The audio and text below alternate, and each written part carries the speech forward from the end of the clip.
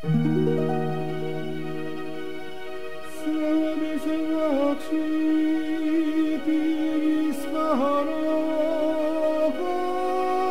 quis te tangat nonolat te totus siestis ad agro almisalus